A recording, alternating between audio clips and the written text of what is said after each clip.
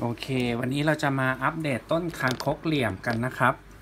Pseudolithos cubiformid ลงเพาะไปวันที่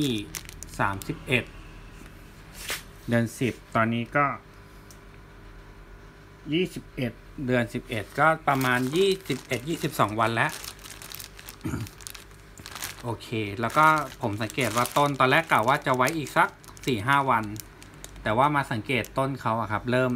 เริ่มยืดแล้วเดี๋ยวให้ดู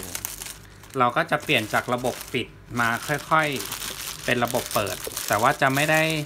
ไม่ได้เอาออกจากถุงทันทีนะครับ เดี๋ยวให้ดูต้นเขา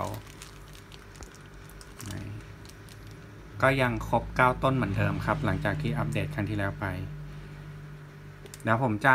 โรยดินญี่ปุ่นเพิ่มหน่อยเพื่อพยุงต้นเขาอีกนิดนึงครับ แล้วก็ จะเอาไว้ในถุง เราจะไม่ได้ออกจากถุงทันทีนะครับ เราจะเอาไว้ในถุงแบบนี้ แต่ว่า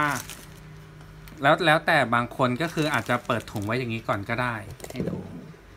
ค่อยๆ ลดความชื้นที่ผิวดินเขาลง แต่ว่า